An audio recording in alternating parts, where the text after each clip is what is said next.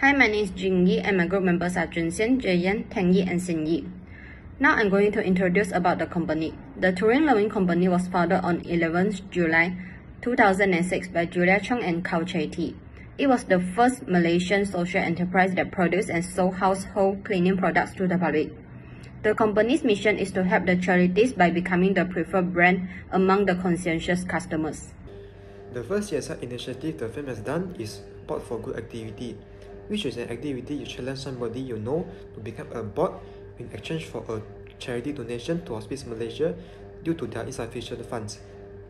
And this activity can be linked by the cash model to philanthropic responsibility as the charity donation has successfully raised an amount of 42,150 ringgit Malaysia to purchase a medical equipment to them. And by providing the wide range of new medical equipment, the Hospice Malaysia is now a better place to deliver a better quality of care to their patients. Moving on to the next CSR initiative, the Truly Loving Company has partnered up with Free Tree Society to organize a green campaign which they assist people in the workshop for planting purposes such as the water procedures and the process of composting to encourage people to care more about the environment.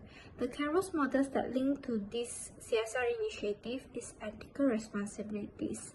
With this campaign, the company has successfully donated 50,000 ringgit Malaysia to Free Tree Society to assist their purposes in helping the local communities.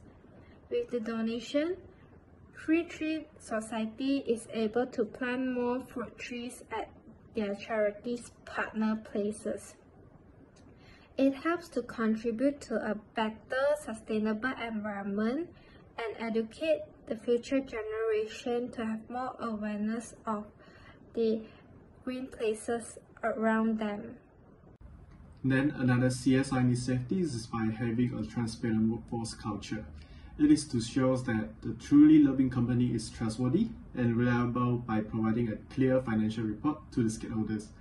Thus, it shows that the truly loving company has been practicing legal responsibility which shares their report to stakeholders to get to know the overall performance of the firm and also ensure employees' rights by having fair wages, working conditions, and providing training for employees. Now I will be talking about three recommendations.